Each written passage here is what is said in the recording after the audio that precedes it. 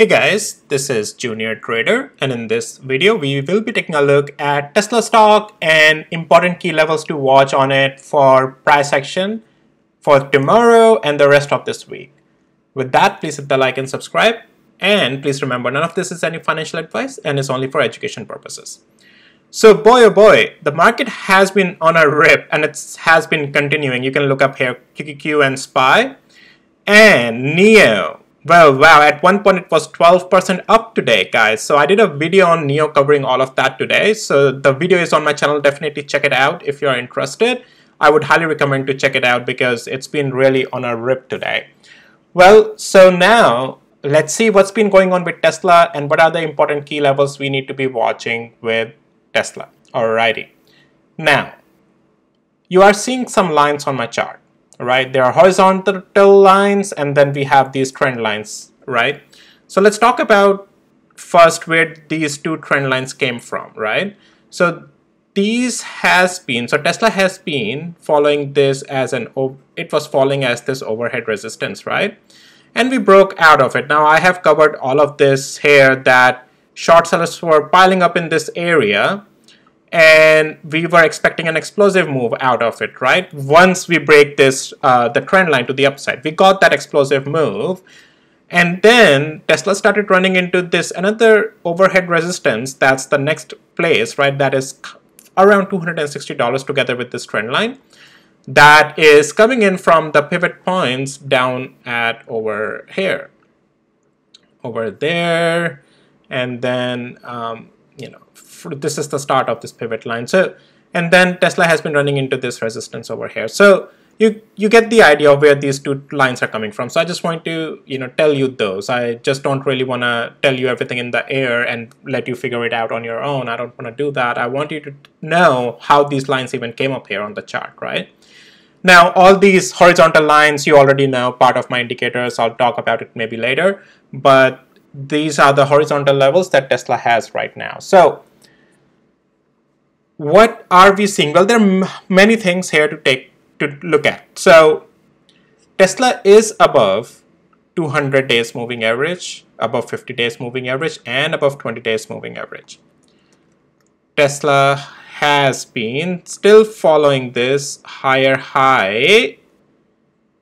For now, we can say higher low, but this is where I want you to keep this picture in mind. I said for now, right? Why? Because there are a couple of things.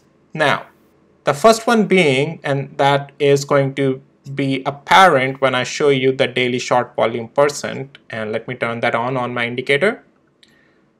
So you can see with Tesla, short sellers are piling up here again, 44% short volume percent that has been coming. And then 42% over here, yes, it did go lower. Well, anything above 35% on Tesla I consider quite high short volume percent. And you can see it's coming around where this overhead resistance is. When we saw the explosion out of this short uh, volume percent concentration, we had the less short volume, right? And a lesser short volume percent. So you can see why this data is so important together with these levels, right? But keeping that in mind, well, today's short volume percent will come after market, post-market close in the evening. So I'm not seeing here that's why for today, but you can see that short sellers are again piling up here, right, in this area. So keep this in mind as we go down to the hourly interval. Yes, Tesla went up. My day trading part also was profitable. We'll talk about all that stuff as well. However, don't forget that the short sellers are still coming in, okay? Now, as I said, today's short volume percent will come later tonight. So if you have access to my indicator, you can see it for yourself. Um, but then I'll talk about that, you know, when we have that data. But something always to be watching. Hey, what are the short volume percent coming around important levels? Now, let me turn that off for now so that our chart is cleaner and I can then talk about other things. So as I said, Tesla is still in an uptrend, but we have these you know, overhead resistance running into that. Let's jump into hourly interval to talk more about what type of moves at what levels can be taken on Tesla now, okay? So I'm on the hourly interval here on Tesla And I just showed you there were short sellers piling up here, right, in this area. So this is a very critical, important level, right? You gotta be watching this level, guys. Even today, we rejected at 258 and 25 cents, right? Don't forget this level, 258 and 29 cents. This is where short sellers are present a lot. I showed you on the daily interval.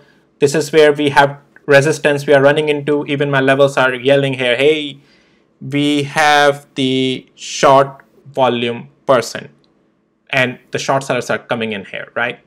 So sorry, I'm emphasizing it quite hard enough because it is very important, this level to watch, okay? So, well, so yeah. Now, going to the further down here, what uh, else are we seeing? So we are above 200 hours moving average, that's for sure. We are above 20 and 50 hours moving average as well. That's great. Cool off. What type of cool off on Tesla? If Tesla can't break above tomorrow $257, then there's a cool off play that can be taken on Tesla all the way to $252. If we break below that, watch this 200 hours moving average and most likely we will be testing 247 okay. The break above $258 on Tesla can give it a room to run all the way up to 264 but not above that. But yes this is where it can run into this overhead resistance. So definitely keep an eye on that breakout above $258 level. So your first some confirmation is above $257 then final confirmation is above 258 and 20 cents dollars. And then it's a breakout continuation to the upside. So yeah guys so tesla you have to trade level by level right now okay? Because i'm seeing short sellers coming in. They're piling up here right? But then we have certain areas because market is strong but short sellers are coming on tesla. So technically it's supposed to go down and with the overhead you know limit at 262 or 265 dollars. But provided with the market when it starts falling we'll take a look at qq and spy as well in just a second. You have you can trade it as a cool off to the downside okay? Um, again trade with the levels. There's a play to the upside as well and there's a play to the downside as well on both sides. We if we start falling let's say we come down to 247 and then eventually to 243 then we can start talking about some swing long plays around this lower boundary of the channel okay? But until then it is not a uh, yeah you have when, when I say not a long swing long play it's yes it's an intraday play right now. And maybe swing short but not below. So that's why it's turning more like a intraday play only for now on Tesla you know? There's I'm hesitant to talk about any swing plays because there is just none you can also follow this trend line on the hourly interval for Tesla for intraday plays for the confirmation of breakout to the downside or support if holds, then continuation to the upside to this to the wedge over here, right? Which is pretty much the upper side of $264, right? Well, all great there, right? Now let's take a look at five minutes interval and let's talk about a couple of things. So again, if you have my Junior Trader Universal Indicator access, guys, you can just trade using the levels here, the orange lines, which is the part of day trading level plus. Now, uh, if you want to take a picture of how my settings looks like, this is how my settings looks like. You can take a snapshot of it or whatever, but um, you know, I have self-adaptive level on, uh, intraday levels, significant levels on, and day trading levels plus as well on, which is for what I use for day trading as well. And then I'll go over my bot as well. But guys, you can see that when you see a price action holding at one of the levels, you can trade it all the way to the next level, the next level, and this was the another confirmation, right? We break out of it and we can see continuation to the upside. And yeah, just trade it to the next level, guys, right? That's pretty much it. Um, we can see that the another one was we went this orange line here, it's not very apparent, um, but you can see there is dotted behind the blue line, but that was another level. You can change the colors as well in the settings of the indicator but we went pretty much close to there. So just traded with these levels, guys, you know, for intraday trading. And, you know, this is my day trading bot as well. Um, so on Tesla as well, good moves today. Um, we got in early when Tesla was falling, there was no position given, and then we got in good profitable move. And again, guys, not every day will be profitable. You can see in the table left hand side, that's just the data for the last 15 uh, days.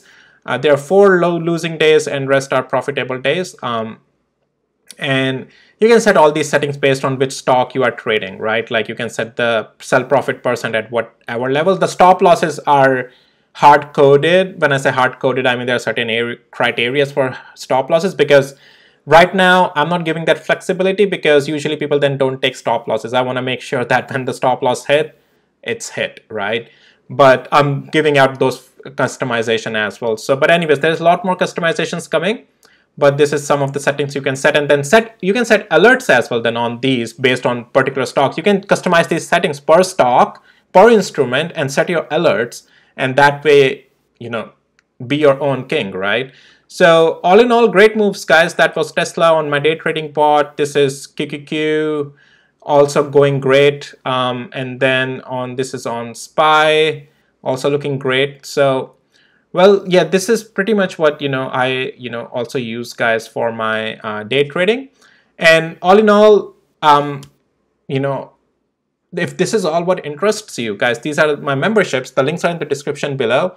All my indicators, day trading bot is part of elite membership and every next membership contains what was, what is being offered in the previous membership. So Wall Street Alerts, part of premium membership together with Basic, which is my universal indicator, my stock watch indicator. LA contains everything in premium and basic and my day trading bot as well.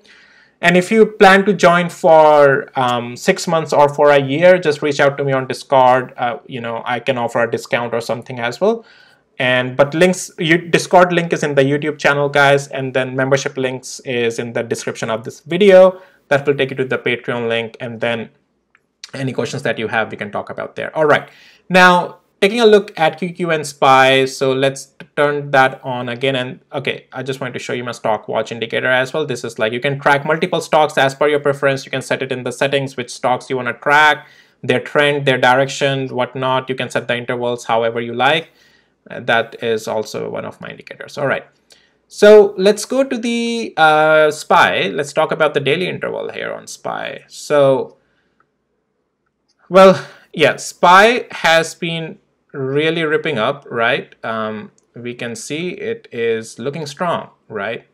Now, SPY is, and this is something I have to adjust on my indicator, guys. So you know, you can see that there's levels up on the top, but it's not showing up because this is a customizable setting that you can do on my indicator. Just move the timeline to that price action, which in the past has a price action around that level and then that level will show up. So now you can see that on SPY, guys, we still have, you know, technically SPY is still bullish, okay? Um, it's quite steep, quite bullish. I think we're gonna end the year really strong and maybe all-time highs. 480 is the all-time high on SPY, so very likely we might be going up there. We are quite bullish all in all. I can see on RSI there's some divergence forming, but the confirmation is not there to the downside cool off. The confirmation for the cool off is below $473. If we break below it, then you can expect some cool off, but it's not going to be a strong cool off, guys. There is not a, there is not a final single confirmation for short side on SPY. Okay, yes, it's overbought. They, these are the places to sell, but I would not recommend shorting it here. Um, it's just not that. Uh, it's just not showing those confirmations right now. Okay. Now this is QQQ, which is Nasdaq. This is this is all above all-time highs already. So anything below 404 can give you play below uh, up to 394, but have your stop loss on either side, right? Whichever direction you take. But QQQ has no sign of downside right now. Yes, it's extended. This is where you might want to take profit, but does it mean it can be traded short? Uh, I'm not seeing any of those signs right now on the swing side. Intraday, you already know you can just, you know, um, yeah, let's take a look at intraday. If there is any short play, well, I would highly suggest against it. Don't even think of short on QQ and SPY right now. It's so strong. Again, does it mean it's not going to fall tomorrow? Yes, it can fall, but is it giving me any confirmation of short plays? No. I mean, yeah, this thing, guys, yeah, even if it breaks below 410 and 49 cents, 407 can come, but that will still keep it in an uptrend. That's what I don't I don't want to recommend trading against the trend. So the cool offs, you know, I think this is the time to take the profits. You know, every day you can't and you should not think of taking a swing position or uh, reverse direction. There are plays that happens at certain intervals and levels, and you have to enter at that level. Right now, it's just not the place where I'm comfortable opening any position. This is the time to take the profits, right? Um, when a good position will start developing, I'll start talking about it. But those cool off places are $407. That could be a potentially an area to reload for an upside. But yeah, QQ is very strong as well, okay? Well, this is it for this video, guys. I hope you found it helpful and valuable. If you did, please hit the like and subscribe, and I'll see you in my next video. Take care. Bye.